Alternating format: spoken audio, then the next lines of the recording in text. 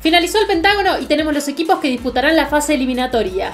¿Quieres saber quiénes son los cuatro contendientes por la gloria máxima? Yo soy Suki y esto es LLA al minuto.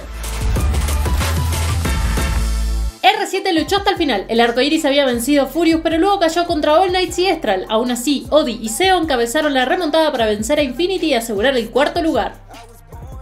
Con este resultado, Estral necesitaba vencer a All Knights, pero los caballeros respondieron mejor y con ayuda de Grell y Pancake acabaron con las aspiraciones del faraón.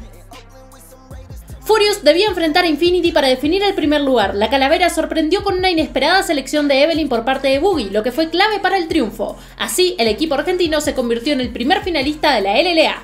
Con estos resultados, así quedan los enfrentamientos de la fase eliminatoria, empezando con All Knights contra R7 el próximo sábado 27 de marzo. Eso fue todo por esta semana, nos vemos el sábado siguiente para cuartos de final. Hasta la próxima.